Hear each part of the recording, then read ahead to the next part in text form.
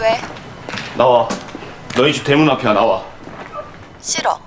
나와!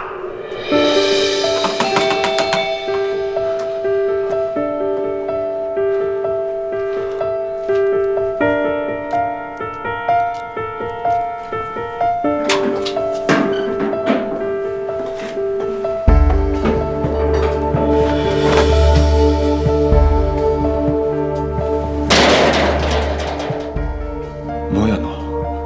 왜 안 나와? 왜 약속을 안 지켜? 너랑 합의해서 이혼서류 접수한 거야. 내가 강조해놓은 거 아니잖아. 근데 왜 안 나타나? 왜? 바보야?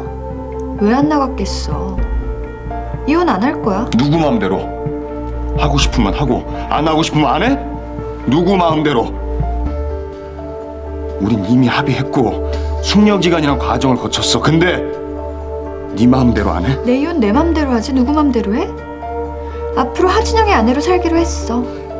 내 자리에 다시 되찾을 거라고. 우린 이미 헤어진 사람들이야. 네가 집을 나갔고 마음이 바뀔 수도 있지 왜 그래? 넌 이미 나랑 헤어졌다고. 오래전에 헤어졌다고. 누가 그래? 난 여전히